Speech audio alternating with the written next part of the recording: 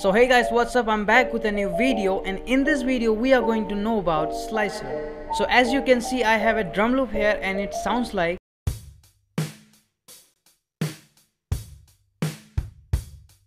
Now look, I want to make my own drum pattern with kick snare used in this loop. And if I'm going to trim and extract each and every single sound of kick snare in this loop, then it will going to take too much time for us. So that's why we use slicer to save our time. And now I'm going to import the drum loop in slicer that I show you guys before.